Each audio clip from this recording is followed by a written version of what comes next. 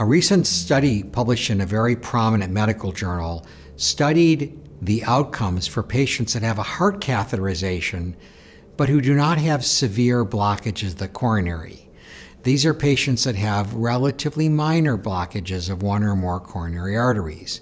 Well, it turns out that even if you have a minor blockage, your risk of having a heart attack in coming years is increased. A minor blockage doesn't mean that you don't still have a problem.